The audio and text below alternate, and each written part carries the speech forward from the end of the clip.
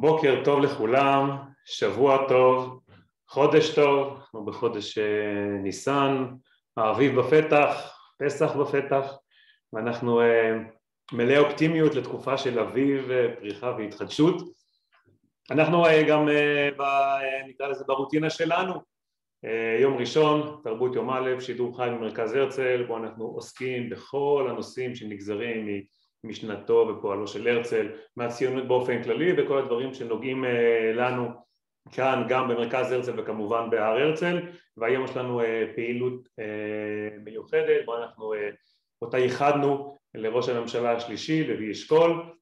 ועוד מעט ככה ניכנס לעומקם של דברים אז כבר תודה לכולם שאתם איתנו אני רק אגיד שמי שנמצא כאן איתנו בזום מצטרף למי שצופה בנו בפייסבוק של מרכז הרצל, של ההסתדרות הציונית העולמית, של המחלקה למעורבות חברתית ושל יד לוי אשכול שמשתפים איתנו פעילות, אה, את הפעולה בשידור הספציפי הזה. אה, אנחנו אה, כמו שאמרתי נמצאים לקראת פסח, אז שבוע הבא תרבות יום א' יהיה בנושא פסח. ממשה עד הרצל, מיציאת מצרים ועד לקיבוץ הגליות שהביא את כולנו לכאן וכל אה, מה שהציונות עשתה אה, בדרך. אני חושב שיהיה לנו פה כמה השוואות מאוד מאוד מעניינות ונוגעות אה, ממש באסנס, במהות גם של משנתו של הרצל וגם בציונות ו, ופסח עם כל מה שהוא מסמל.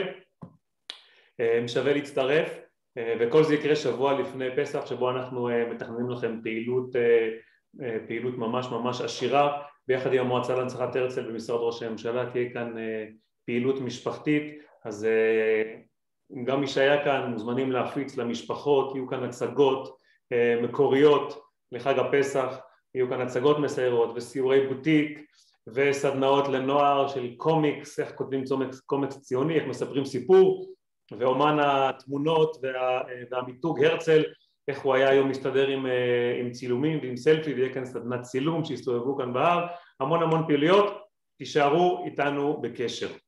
אז uh, עד כאן uh, ההקדמות ואני מאוד שמח שאת uh, השידור הזה תוביל שלומית סטלר המנהלת החינוכית שלנו ואיתנו נמצא שביט בן אריה מעבר לזה שהוא ידיד uh, מרכז הרצל הוא היום ראש אגף uh, שימור ומורשת במשרד התרבות uh, והספורט ובעברו uh, המפואר אם אפשר להגיד המנכ"ל של יד לוי אשכול uh, גם בתפעול וגם בהובלת הידע אה, הנחלת אה, החשיבות של הדברים שלא תמיד נאמרו ולא תמיד אה, ידענו.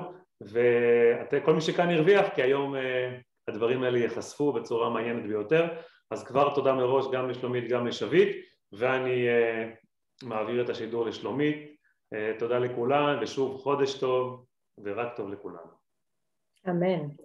טוב אז עודד תודה רבה אני רוצה להתחיל רגע בווידוי אישי, חיכיתי הרבה זמן לעשות תרבות יום א' על לוי אשכול אה, ואני ושביט אה, דיברנו על זה כמה וכמה פעמים ואני שמחה שזה סוף סוף קורה.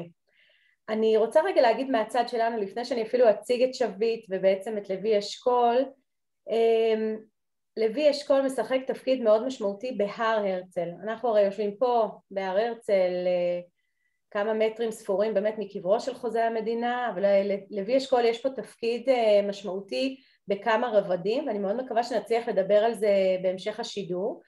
הנקודה הראשונית שאני חושבת שחשוב להזכיר זה שלוי אשכול הוא בעצם ראש הממשלה הראשון שנקבר פה בחלקת גדולי האומה מתוקף תפקידו. נקברו לפניו אה, עוד אישים אבל הוא בעצם הראשון שנקבר פה אה, ובעצם אם אפשר לקרוא לזה פותח באופן רשמי את חלקת גדולי האומה לפי הכללים שנקבעו. אז אה, זה דבר ראשון. אה, ודבר שני זה באמת התפקיד שלוי אשכול משחק בתור ראש ממשלה צעיר בהעלאת ארונו ועצמותיו בעצם של זאב ז'בוטינסקי שקבור גם פה בהר הרצל.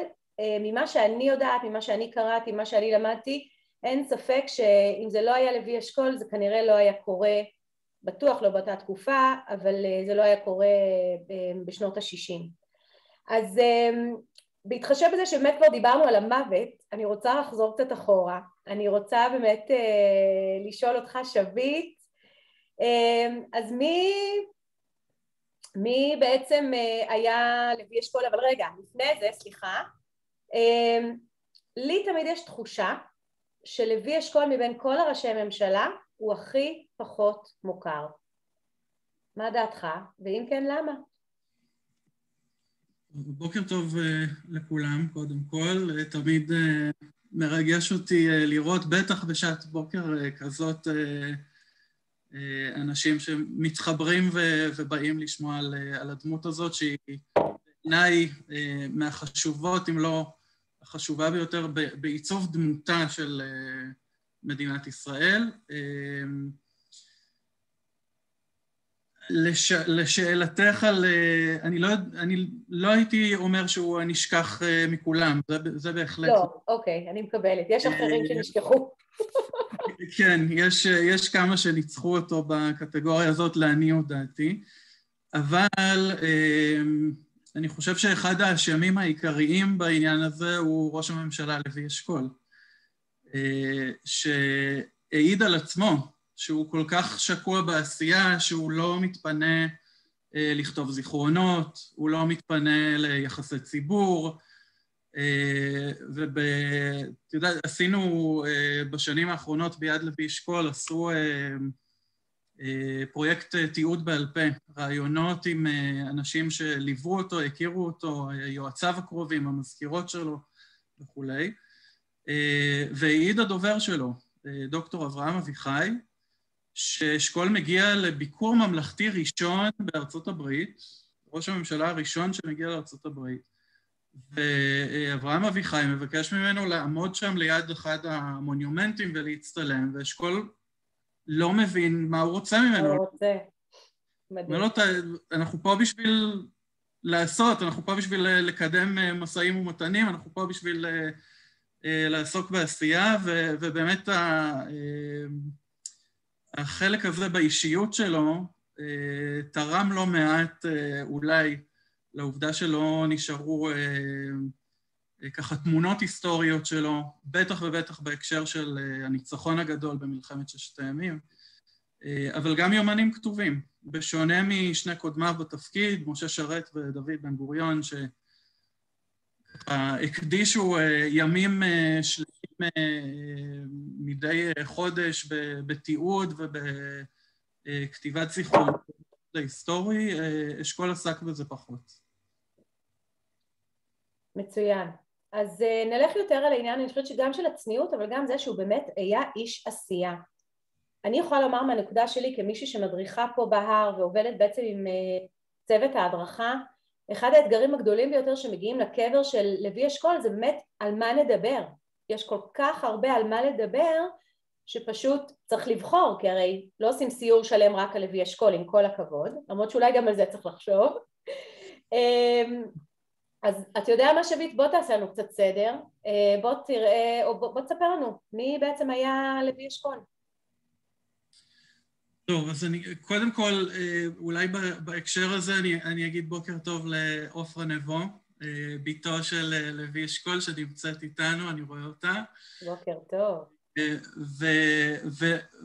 וזו גם מצוינת לשאלה שלך, כי הבנות מספרות שבעצם ארוחות הערב המשפחתיות או ארוחות שישי, כי ההורים שלהם, לוי אשכול ואלישבע קפלן, לא בדיוק הקדימו לחזור מדי ערב לארוחת ערב, אבל אה, הארוחות המשפחתיות היו מוקדשות כל כולן לדיווחים אה, מדינה.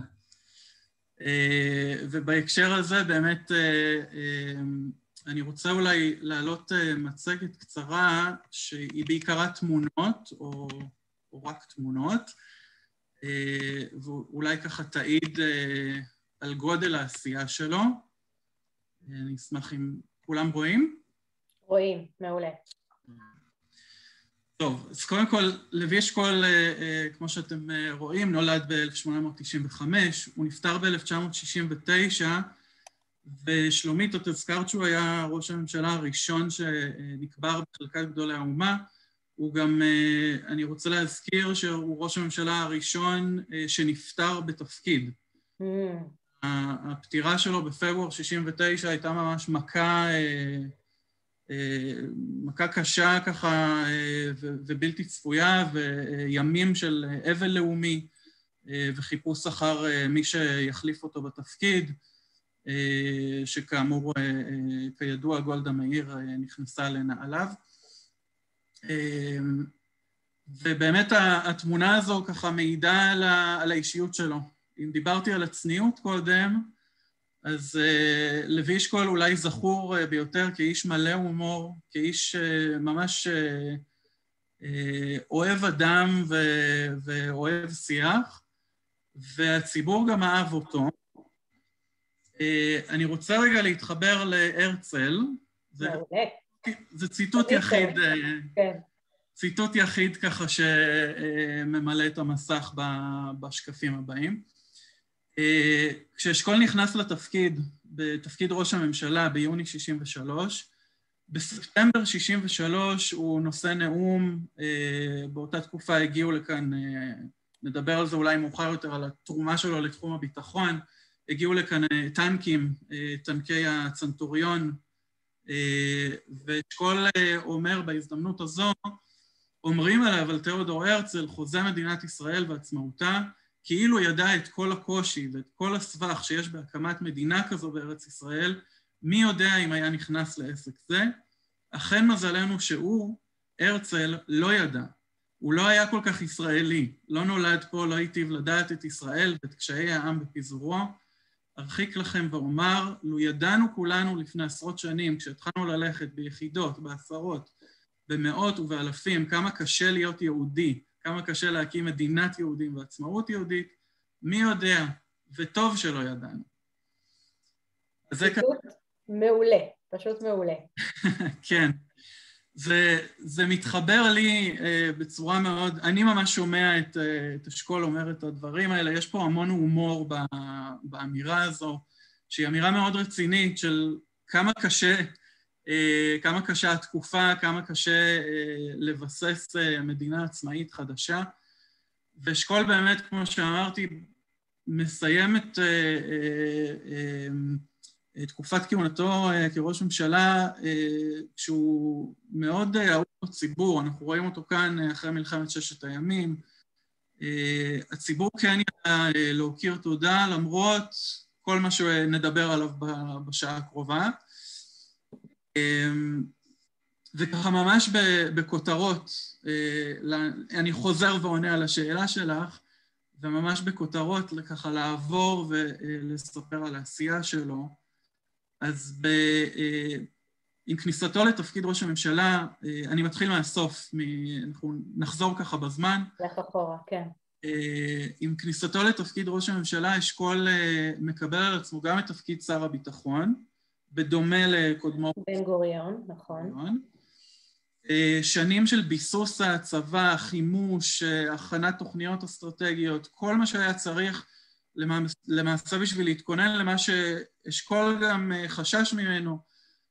הוא היה אומר, היו אומרים לו בישיבות מטכ"ל, מה אתה דואג? אין, אין חשש, אין, אף אחד לא יתקוף אותנו בתקופה הקרובה. ואשכול היה אה, עונה לאותם אלופים בישיבות המטכ"ל, מי יכול כאן להבטיח לי שנאצר לא יקום בוקר אחד וישתגע?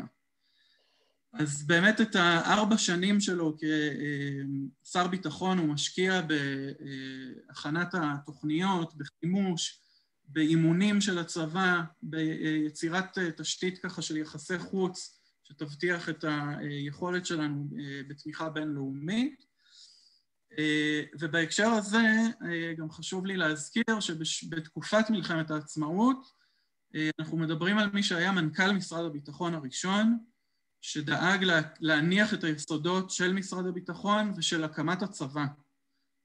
יש אפילו מי שטוענים שאת השם צה"ל אשכול נתן לצבא והמציא את המונח הזה.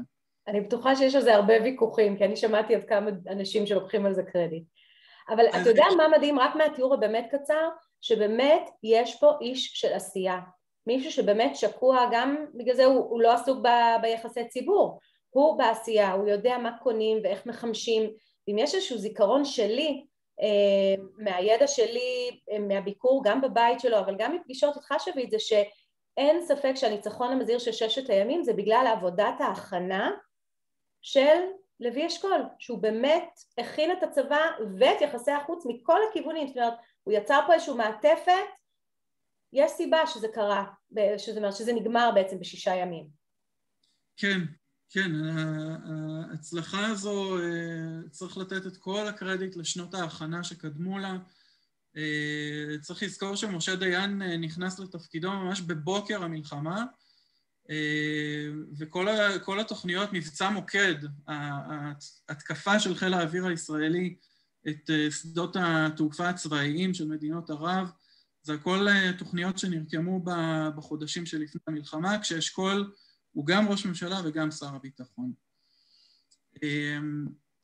אני רגע אה, רוצה אה, לצאת מה, מהעניין הביטחוני ובאמת לחזור להיבטים, למעגלים אחרים של עשייה שלו.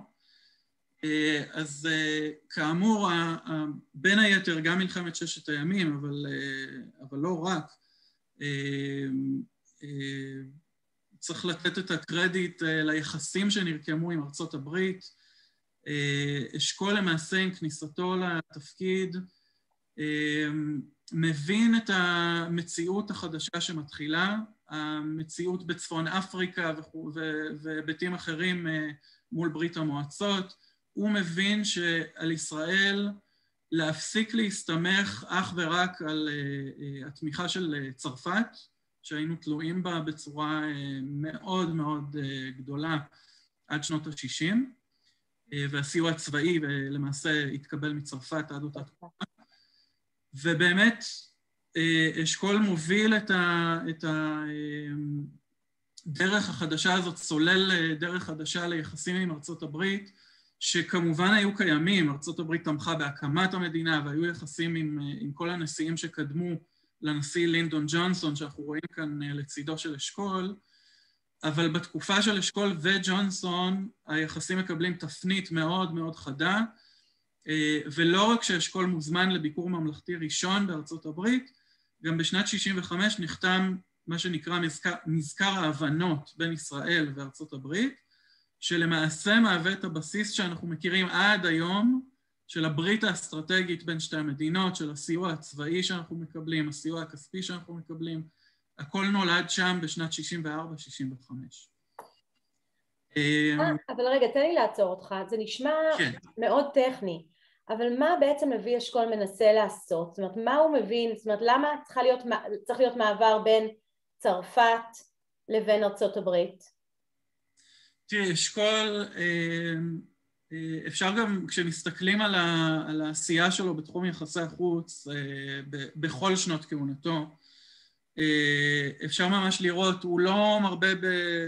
טוב, זה גם רוח התקופה, זה שנות ה-60, לא מרבים בטיסות לחו"ל וכולי, אבל אשכול ממש משקיע את המאמצים שלו ב, ביחסים עם, עם, עם המעצמות. הוא נוסע פעמיים לאנגליה, הוא נוסע מספר פעמים לצרפת, והוא נוסע פעמים בארצות הברית, אה, ולמעט אה, סיור מאוד גדול שהיה לו גם באפריקה, ואולי אה, נתייחס אליו בהמשך, אלה היו הנסיעות שלו. אנחנו התרגלנו בשנים האחרונות, בעשורים האחרונים, לנסיעות אפילו כל חודש או כל כמה שבועות. אשכול מבין שאסור לאף מדינה, זה לא קשור לעניין הישראלי או הציוני, לאף מדינה אה, לא תיתכן אה, הסתמכות על מדינה אחת. ואשכול באמת אה, תובע ככה את הקשרים עם, עם מעצמות העולם. הוא גם שומר, הוא אמנם לא ביקר בברית המועצות, אבל הוא שומר על אה, אה, קשרים אה, שוטפים ומתמשכים עם השגריר הסובייטי כאן ב, בישראל. אה, וזה באמת מהתפיסה של אם אין אני לי מי לי. גם, אני חושבת שגם התנהגות מאוד אחראית, זאת אומרת באמת האחריות פה משחקת תפקיד מאוד משמעותי שאני חושבת שזה אחד מהאלמנטים בעיניי המאוד חזקים במנהיגות שלו. זאת אומרת אשכול באמת, הוא היה איש של אנשים. הוא, אה, את יודעת, יש אה, סיפורים על אה, ישיבות, אומנם לא מטכ"ל, אבל ישיבות ככה צבאיות כשהוא בתפקיד שר הביטחון, תוכניות אסטרטגיות, כל מיני פרטים טכניים קטנים, והוא מנהל את הדיון ומסתכל סביב השולחן ורואה קצינים בדרגות נמוכות, שככה לא מביעים את דעתם בקול רם, אבל הוא רואה שהם זזים בחוסר נחת בכיסא שלהם. והעדויות מספרות שהוא היה מבקש לעצור את הדיון, לעשות הפסקה קצרה. היה ניגש באותה הפסקה לאותם קצינים. שוב, אנחנו לא מדברים לא על אלופים ולא על אלופי משנה, אנחנו מדברים על סרן, סרן, דרגים באמת נמוכים בהיררכיה הצבאית. שומע את דעתם, מבקש מהם להיות גלויים איתו בארבע עיניים, ולאחר מכן מכנס את הדיון מחדש ומקבל את ההחלטות אחרי שהוא שמע את מי שהוא קרא... האנשים בשטח. לא רק האנשים בשטח, בעצם מי שמתנגדים לכל מה שנאמר קודם לכן. וחששו להגיד את האמירות שלהם סביב השולחן. מדהים. איזה צניעות. אה, אה, זו הייתה הגישה של אשכול, ורואים את זה גם ביחסי החוץ, ככה באמת עם הפתיחות שלו לעולם, וגם אם אני עובר כאן לתמונה הבאה, אה, דיון שהתקיים ימים ספורים אחרי מלחמת ששת הימים, אשכול מכנס בלשכה שלו את כל ראשי העדות והדתות בישראל. אנחנו רואים כאן את העדות הנוצריות השונות, אנחנו רואים כאן דרוזים, אנחנו רואים כאן הרב הראשי, אני רואה. הרב הראשי, כן, הרב אונטרמן והרב, והרב הספרדי לצידו. הוא מכנס את כל ראשי העדות והדתות ומבטיח להם שתוצאות המלחמה לא ישפיעו על חופש הדת בישראל והגישה למקומות הקדושים בירושלים. וזה קורה גם, אני רוצה להזכיר כאן לכל השומעים, פחות או יותר שלוש שנים אחרי ביטול הממשל הצבאי על ערביי ישראל. אחת ה... אחד הדברים הראשונים שאשכול בעצם מקבל לגביהם החלטה כשהוא נכנס לתפקיד ראש הממשלה, לבחון מחדש את הצורך בביטול, בביטול הממשל הצבאי על ערביי ישראל, ממשל צבאי שהיה קיים משנת 48', ובעצם ב-63 אשכול מחליט להתחיל את התהליך של הביטול שלו, שמתבטל בפועל בשנת 66, זה תהליך ארוך ו...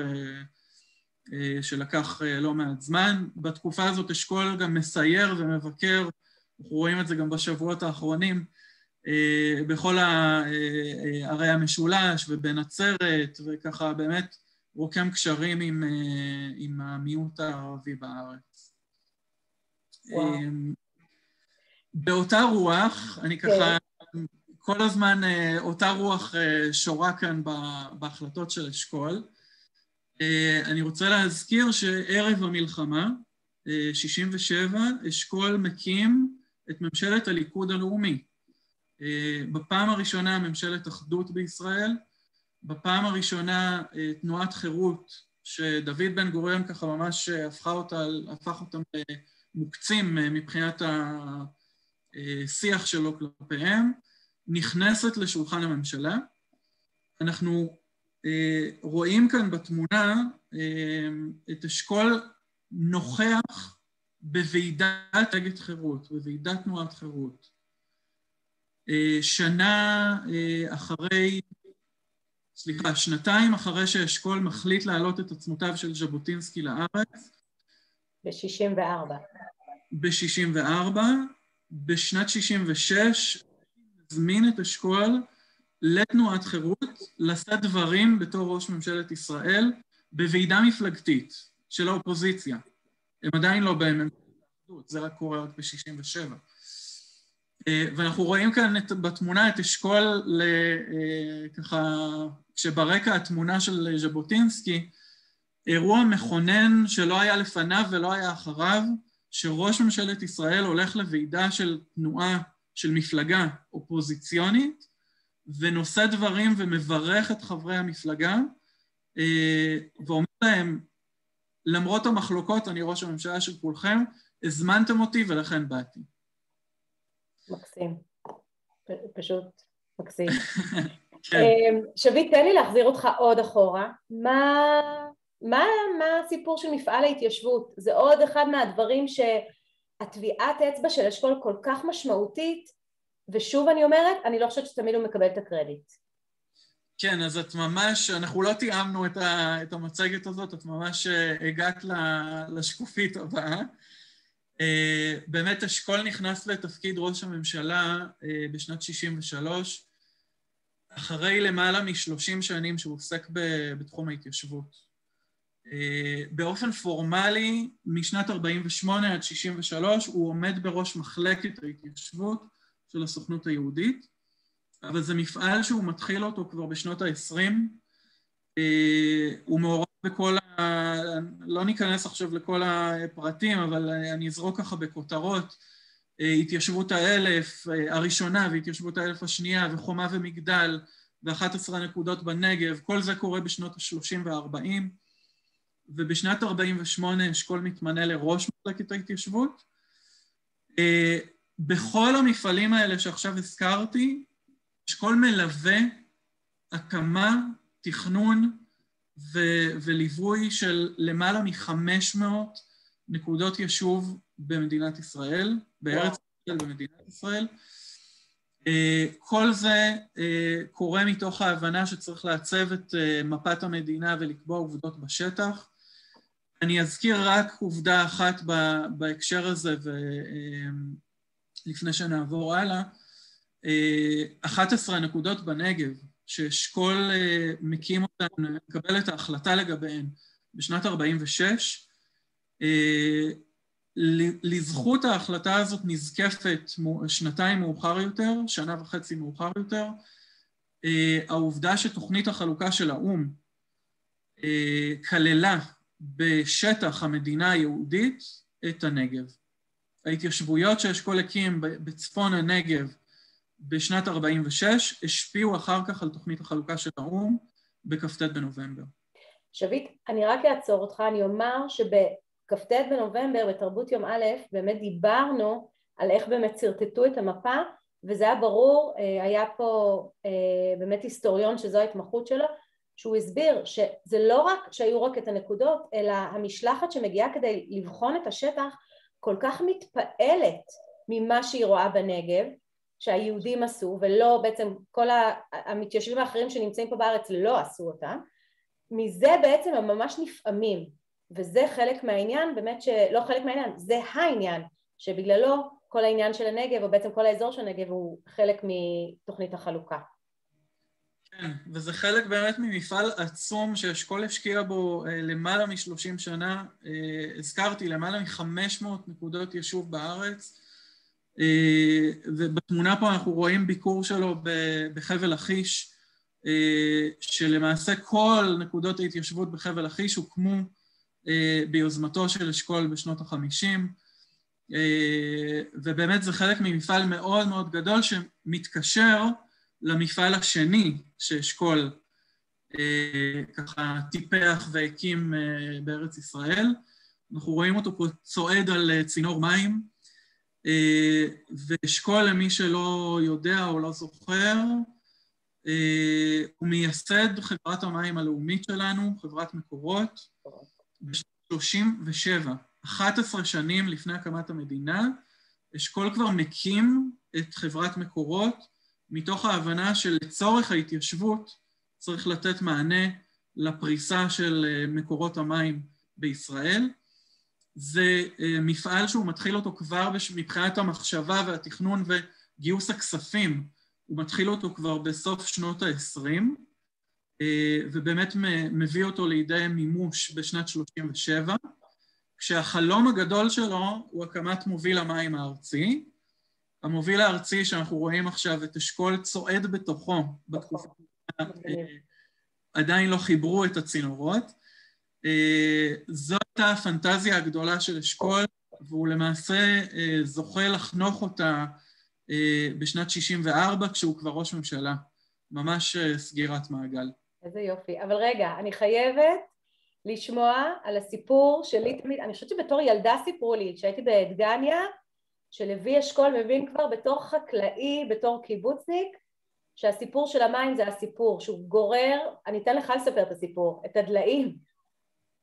כן, כן, אז הסיפור, אה, אה, אני אפילו הייתי מתחיל אותו לפני דגניה. ביום הראשון שאשכול אה, מגיע לארץ, ואגב, הפתיחה של עודד לגבי פסח והתוכניות של שבוע הבא, אשכול עלה בפסח לארץ, אז גם יש כאן את הסמליות של הצייה שלנו בתקופה הזאת.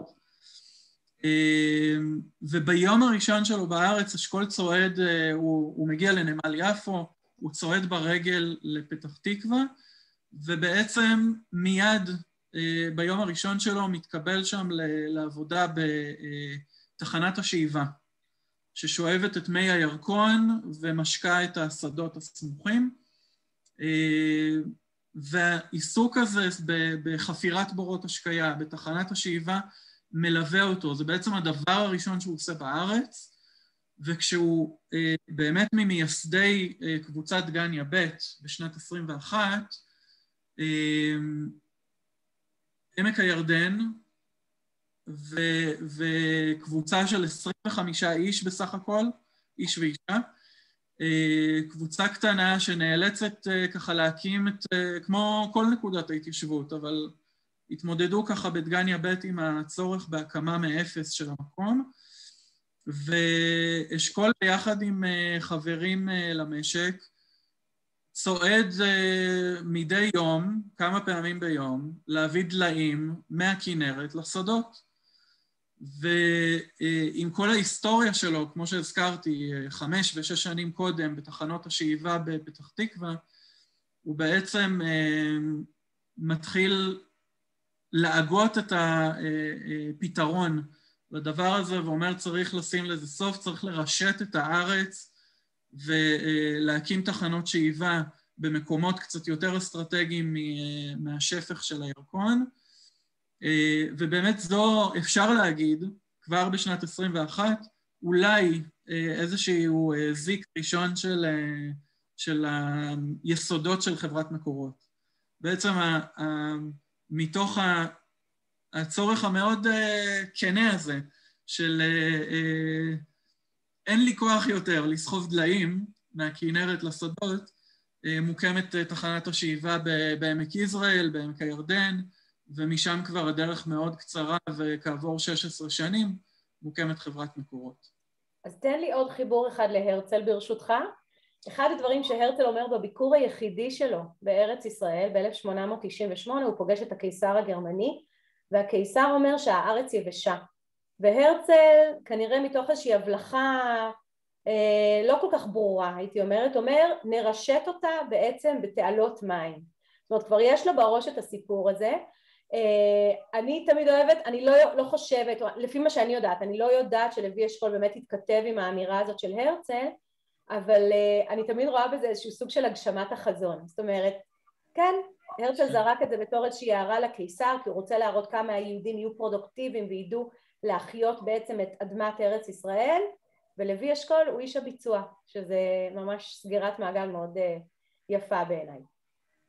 כן, אה, לחלוטין איש הביצוע. אה, אחד היועצים של, אה, של אשכול הגדיר אותו, אם, אם דוד בן גוריון הוא מייסד מדינת ישראל, אז לוי אשכול הוא מייסד החברה הישראלית.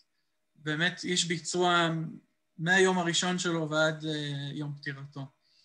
והוא איש, אני חושבת שאתה אומר ביצוע צריך לדבר, זה גם הרעיונות הגדולים, אבל זה גם, כמו שנתת פה הרבה דוגמאות, הירידה לפרטים באמת עד הסוף, זאת אומרת הוא לא משאיר את זה בחזון, בגבוה, במטרות על. אין, אין אצלו את הדבר הזה, שוב, גם, גם כל הרעיון הזה של לצורך העניין חברת מקורות, אין את זה בכתובים. הוא לא מבזבז זמן על uh, לכתוב תוכניות ולשלוח לצירים בקונגרס הציוני, והוא מחטט רגליים, הוא מגייס כספים, הוא יוצא ל... אה, לישיבות ולקבל את ה... לקדם את קבלת ההחלטות בעניין הזה. אה, באמת ההיסטוריה המתועדת בכתובים של אשכול כמעט ולא קיימת. מבחינת הניירות האישיים שלו, אני לא מדבר על מה שכתבו עליו. עליו. אה, הניירות האישיים שלו פשוט לא קיימים כי הוא לא התפנה לזה. הוא לא התפנה לזה, הוא פשוט היה עסוק בעשייה. ואני חושבת שהוא גם לא ייחס לזה חשיבות, בדיוק זאת אומרת, זה לא רק שהוא לא התפנה לזה, אלא זה באמת לא היה משהו שהיה חשוב. מה כן. עוד אנחנו לא יודעים על לוי אשכול? מה עוד? אז אני, אנחנו ככה נעבור אולי בקצרה על, על מה שנשאר כאן.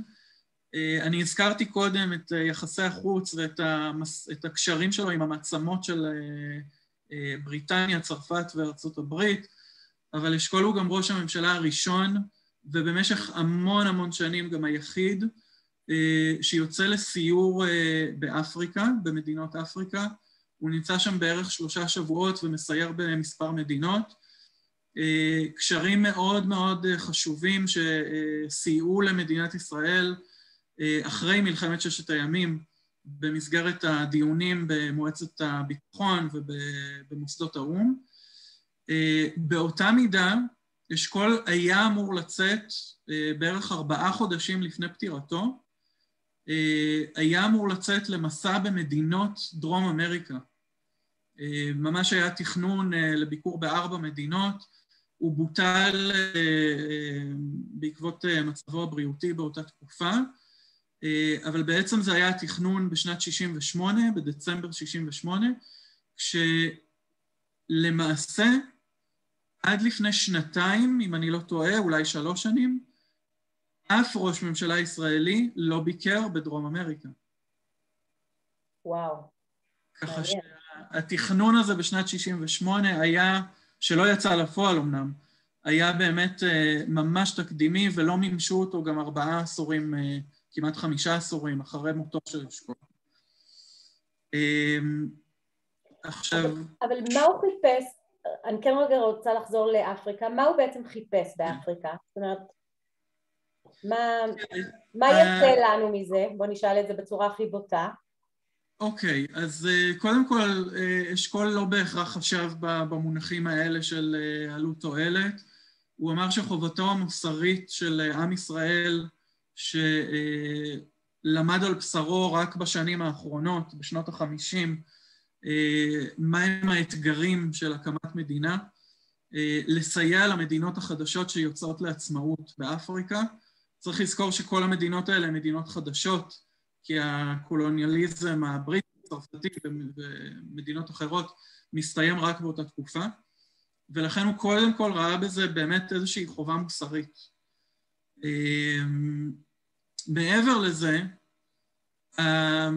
יש המון קווים מקבילים בין המדינות, זאת אומרת, התלות החקלאית באותם שנים, ההתמודדות עם, ה, עם כל הנושא של המדבריות, נושא המים שדיברנו עליו לא מעט. כל זה, יש כאן המון המון קווים משיקים בין מדינות אפריקה ובין מדינת ישראל הצעירה, ובאמת הייתה כאן הפריה הדדית של, של ידע. וזה ככה גם פתח את הדלת, כי אנחנו לא סתם באנו אה, להתחנף לאותן מדינות, אלא באנו, חלקנו איתם ידע, אה, אפילו, אה, לא יודע עד כמה זה מוכר לאנשים, אבל בשנות ה-60, אה, למעשה, שוב, מאותה, אם לחזור לאותו עניין של חובה מוסרית כלפי מדינות צעירות, אה, אותן מדינות שב, שבאותה תקופה הקימו בפעם הראשונה את הצבאות שלהן, שלחו את הקצינים החדשים שלהם, את קורס הקצינים הראשון שלהם, אה, אם ככה להשתמש במרכאות במונח ככה יותר נגיש, אה, שלחו אותם להשתלם כאן, בקורסים צבאיים, ביטחוניים, אה, ויש לא מעט קצינים אפריקאים שהוכשרו או בקורס קצונה ישראלי או בקורס צניחה ישראלי. מקסים.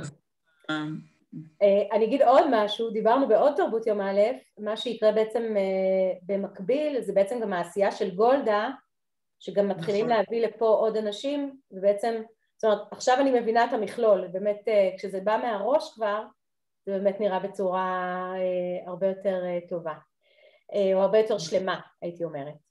גולדה, גולדה כמובן הייתה שרת החוץ של אשכול בתחילת כהונתו. אותה, כן. את המדיניות הזאת, אבל אה, זו מדיניות שהתחילה כבר בשנות החמישים וצריך לזכור גם את זה. אמ, סליחה, עצרתי אותך והתכוונת להמשיך עם השטר, כן. עם הכסף. כן. אז ככה באמת אולי התפקיד האחרון או הכותרת האחרונה שככה נייחד לה במסגרת המצגת הזאת ואחר כך ככה נתפנה לשיח. אשכול נכנס לכהונתו כראש ממשלה אחרי 11 שנים כשר האוצר השני של מדינת ישראל. 11 שנים, תקופה, באמת תקופת שיא של כהונה בתפקיד הזה. תקופה, 11 שנים רצופות כשר אוצר, מתקופת הצנע בשנת 52' ועד כניסתו לתפקיד ראש הממשלה ב-63', מהפכה שלמה בתעשייה הישראלית, הנחת יסודות לשדות כלכליים חדשים, תיירות, תעשיות צבאיות, ככה מה שנקרא you name it בשפה פשוטה. ובאמת העבר של מדינת ישראל ממדינה שמבוססת ככה על גידולים חקלאיים ועל באמת לוחמת על הישרדותה, נאבקת על הישרדותה, באמת לראשית התעשייה. אפילו במונחים של שנת 63', אפשר להגיד שההייטק שאנחנו מתגאים בו היום התחיל כבר אז, כשהמדיניות של אשכול הייתה על ידי המשיכה של משקיעים, בעיקר מיהדות התפוצות, הקמה של המפעלים שלהם בסמיכות למוסדות להשכלה גבוהה, כך שתמיד תהיה הפריה בין התיאוריה לבין המעשה והפרקטיקה. זו כזאת חשיבה מעשית, אני פשוט נדהמת מזה. מקסים, פשוט מקסים. אני כן רוצה, אתה קצת המעטת בערך, אבל להיות שר אוצר, 11 שנה, היום בדיעבד זה שביעית מה, בעצם, מה, זאת אומרת, מהזמן של, של, של מדינת ישראל, זה משהו מדהים, זאת אומרת זה באמת אחד בעיניי השרים הכי כפוי, זאת אומרת התפקיד הכי כפוי טובה שקיים, זה זה שיושב על הקופה, לא משחרר, מצד שני צריך לקחת גם, זה באמת עבודה מאוד מאוד לא פשוטה, אנחנו רואים את זה גם היום, זאת אומרת איך שר האוצר, זה באמת תפקיד שלא נשארים בו כל כך הרבה, אז יש בזה באמת משהו מאוד מאוד ייחודי בעיניי, באמת שוב בעניין של ה... העשייה והצניעות ובאמת הרגשת האחריות של יש פה מבוגר אחראי שיודע מה הוא עושה. זו התחושה שלי, שוב, מהקריאה את, הקריאה ההיסטורית של מה שבעצם נשאר. אז אני... מה עוד שביט? עוד משהו? אז ככה רק להזכיר שכל העשייה הזאת, שתכף אולי גם נרחיב על היבטים מסוימים ממנה, מתחילה בחלוץ צעיר, אשכול הוא כאן השני משמאל, חלוץ צעיר שעולה לבד, הוא לא עולה בקבוצה, הוא לא עולה במסגרת עלייה מאורגנת, הוא באמת ככה נחשף לציונות בעיקר בתקופת לימודיו בגימנסיה היהודית בווילנה, שגם לשם, לצורך הלימודים בגימנסיה העברית בווילנה, הוא עוזב את ביתו באוקראינה ונוסע לווילנה ונחשף שם לתנועה הציונית, ובעצם אה, אה, מתעד אחד, ה, אחד המשפטים היותר ידועים שלו בהקשר הזה הוא די לדיבורים, צריך אה, באמת לקום ולעשות, ואשכול עולה, וכאמור ביום הראשון שלו מתחיל את העבודה שלו במפעלי המים, ומשם מתגלגל לכל מפעל ההתיישבות, מוכיח את עצמו, נכנס למפעלי ה... למשרד האוצר, ומשם כבר מתגלגל לתפקיד החשוב של ראשות הממשלה. ואם לדבר על ההיכרות של אשכול עם העולם הציוני, עם התנועה הציונית, אז ככה, שוב, חיבור של הרצל לקראת סוף המצגת הזאת, אשכול לא מגיע מבית ציוני, ההורים שלו לא חברים בתנועה הציונית, לא בהכרח מדברים על עלייה לארץ, אבל יום מותו של הרצל ב-1904 עשה רושם אדיר על לוי אשכול הצעיר, והוא סיפר לימים בראיונות בעיתונות את מה שמופיע לכם כרגע על המסך. באותו יום הרגשתי איזה רושם מדכא עשה מותו של הרצל, אבא לא היה ציוני, ובכל זאת הוא ואחרים התהלכו כאילו מת מלך בישראל. הרצל, מלך היהודים, משיח היהודים, כך הצטיירה לפנינו דמותו כאשר אבא סיפר על מותו. וזה ככה אה, מחבר אותי לתפקיד המשמעותי של אה, אשכול בהר הרצל ובמרכז שלכם. ב-48 אשכול סוגר מעגל. 49. 49, סליחה. אה, והוא באמת חבר במשמר הכבוד של העלאת עצמותיו של הרצל לקבורה בהר הרצל. אז באמת, רק למי שפחות מכיר, אנחנו מדברים פה על ההלוויה השנייה, שבעצם הרצל מובא לכאן מווינה באוגוסט 49, ולי זה היה חדש שביט, שבעצם אה, לוי אשכול היה אה, חלק ממסע הלוויה. דרך אגב, זה היה מסע הלוויה מאוד מאוד ארוך, ורק מספרים שכל בן אדם שלישי במדינת ישראל באותה תקופה לקח חלק בהלוויה, ואתה בעצם מתאר את החלק הסופי, אם אני לא טועה, נכון? ממש פה בהר, שם אני יודעת שהיה משמר כבוד. נדמה לי שכן. מעולה. מצוין. טוב, איזה יופי, כל כך הרבה הקשרים. תמיד מאוד משמח. טוב, אז uh, סקרנו באמת, uh, אני חושבת, uh, בצורה מרשימה, למרות ששוב, ברור לי שהיה אפשר עוד לשבת ולדבר עוד שעות uh, ובעצם לפתוח פה אנקדוטות וסיפורים, כי באמת, uh, כמו שזה חוזר פה כחוט השני, יש פה איש עם עשייה אדירה. Uh, אני רוצה לשאול אותך רגע על הנצחה, אוקיי? איך, איך בעצם לוי אשכול מונצח? אני מכירה שכונות גם בירושלים, גם בחיפה אם אני לא טועה. אמ, מה עוד? איפה, איפה הוא עוד מונצח? אה, טוב, אני... נושא הנצחה, הנצחת ראשי הממשלה ונשיאים בישראל הוא, אה, הוא נושא כאוב. אה, שיד לוי אשכול באמת ככה ניסתה ומנסה להתמודד איתו מיום פטירתו של אשכול למעשה. את הזכרת את ההנצחה היותר מוחשית. אז אשכול נכון. באמת פתח ב... נדמה לי שלושים ערים, מבחינת עיריות, אני לא מדבר על רשויות מקומיות וכולי, מבחינת עיריות הוא, הוא מונצח בשלושים אה, אה, ערים, בשמות של שכונות, בשמות של רחובות, יש מספר בתי ספר על שמו. אה, אני חושב שההנצחות היותר סמליות הם מאגר המים של אשכול, של חברת מקורות, שגם סמוך לעמק הירדן. יש את יער אשכול במנחמיה, גם כן סמוך לדגניה באופן יחסי. כל האזור, כן. אה, של קרן קיימת לישראל. ובעצם יד לוי אשכול, שהוקמה אה, בשנת 69, אה, מי שככה עיצבה את דמותה ולחמה על קיומה כל השנים הייתה אלמנתו, מרים אשכול, שנפטרה לפני ארבע שנים.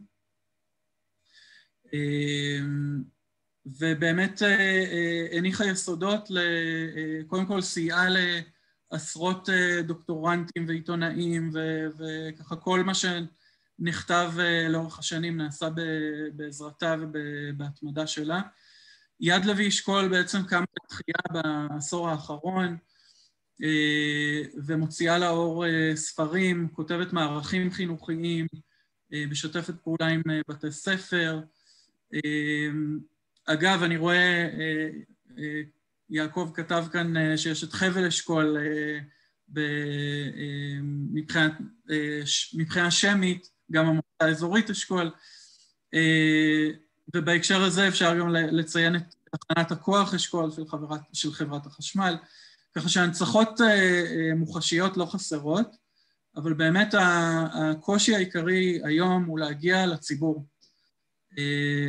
ההנצחה לא רק של אשכול, אבל אשכול ככה כואב לי באופן אישי המחסור הזה, אבל אה, הנצחה בכלל לא, לא באה לידי ביטוי במערכת החינוך, אה, ובעצם אה, יד לוי אשכול מנסה ככל יכולתה להנגיש את הדברים. אני יכול ככה, רק ככה להראות ב...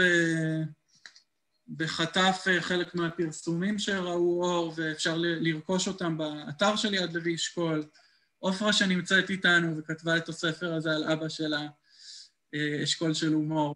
אני כבר רוצה לשאול על ההומור, אז זה ספר כן. פשוט מקסים.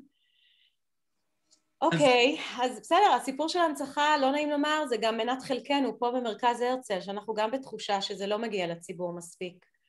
כן. אה, לא פשוט, אבל בסדר, אני חושבת שזה חלק מהאתגר שלנו, לנסות באמת לגעת בלבבות, ובדיוק גם מה שאנחנו עושים פה, זה באמת לפתוח את הלבבות, כי המטרה שלי כאן, אה, אני אהיה מאוד, זה מאוד מאוד ברור שמישהו עכשיו ילך, יפתח ספר, אפילו יפתח גוגל ויקרא עוד על לוי אשכול, מישהו יחליט לחקור, להתעניין, זה בעיניי באמת אה, אה, המטרה, באמת אה, המטרה העיקרית פה, לא רק לספר.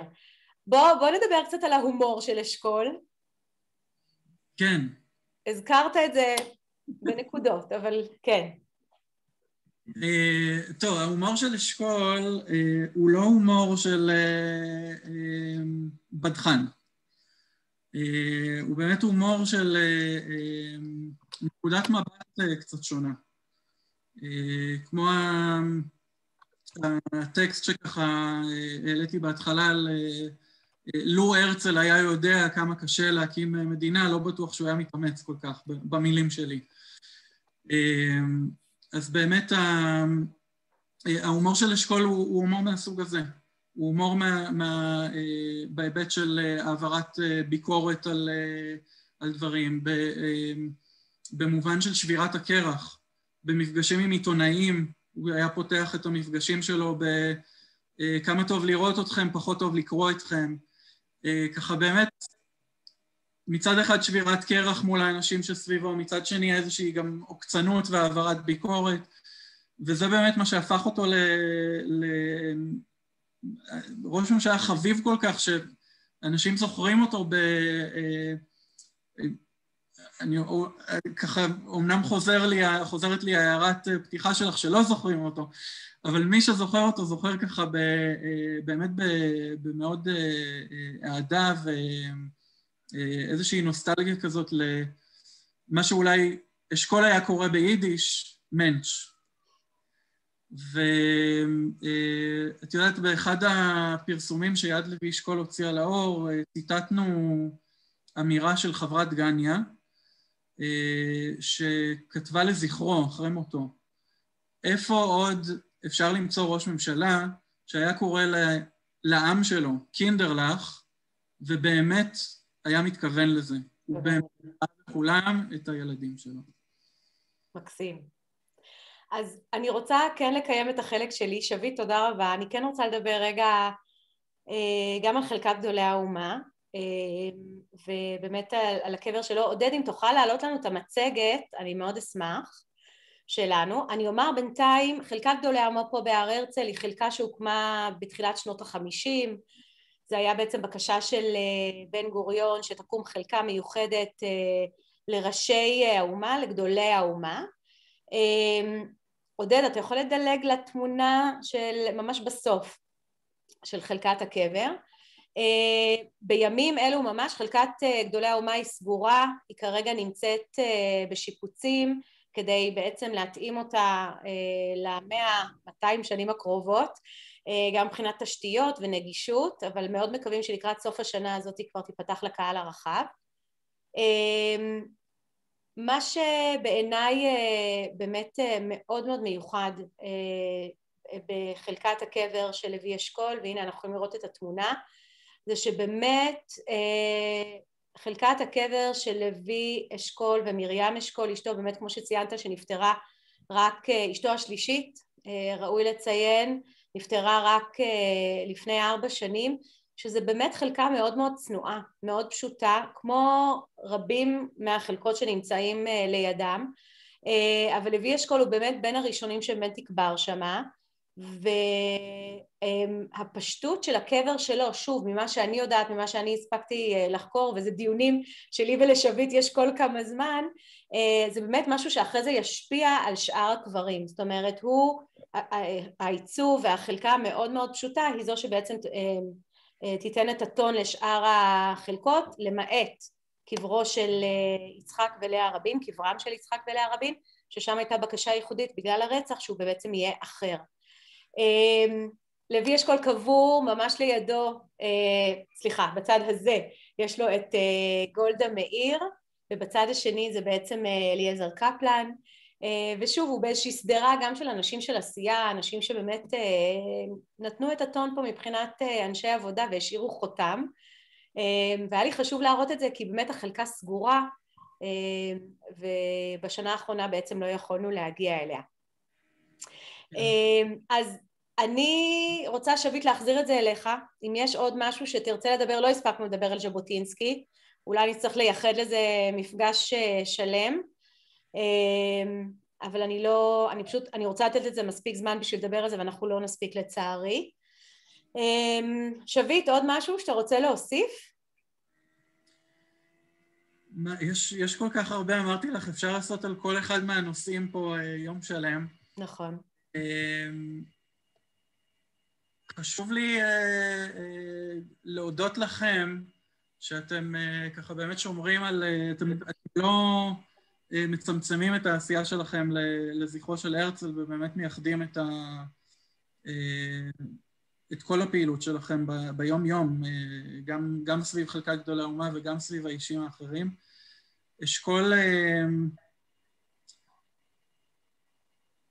באמת תמצית, תמצית הציונות. אה, אה, בתקופה שלו כשר אוצר, אה, תמיד היו תוקפים אותו על, על העובדה שהוא לא מיישם בהכרח מדיניות של הסוציאליסטים. כנציג מפא"י, כנציג התנועה הקיבוצית, כנציג...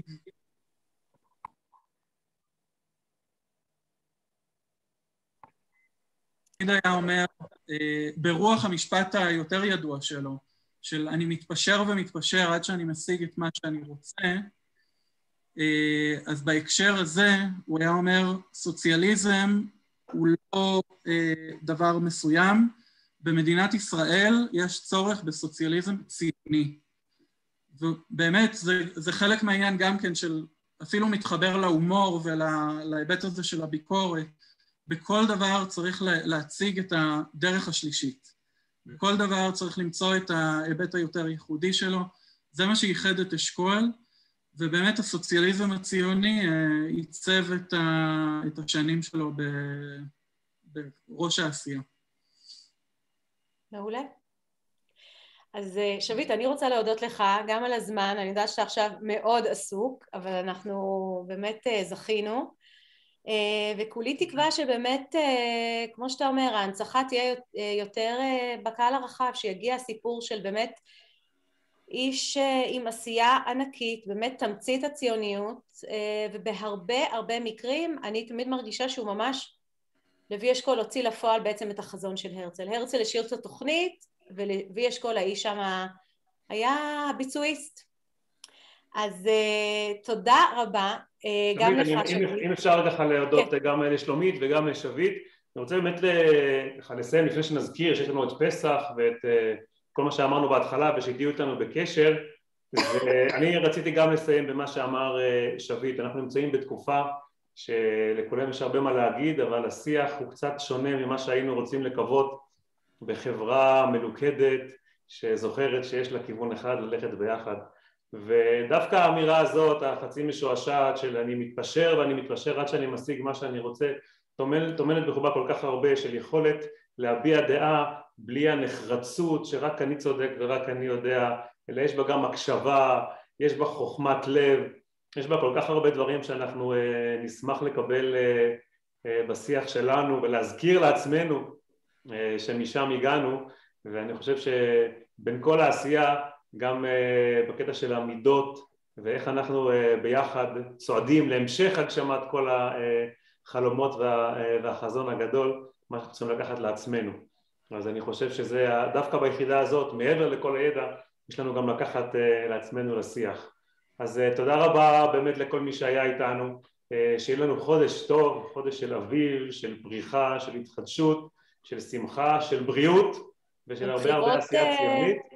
נכונות, כן. כן. ואנחנו נפגשים פה בשבוע הבא ותעקבו אחרינו כי פסח בפתח. אז תודה רבה לגברת נבו, לעופרה, לכבוד עלינו שהיית איתנו, שביט, מזמן לא באת לבקר, אני יודע שאתה עסוק אבל תקפוץ, תודה לכולם ורק טוב. תודה רבה. להתראות, שבוע טוב. תודה שביט, שוב.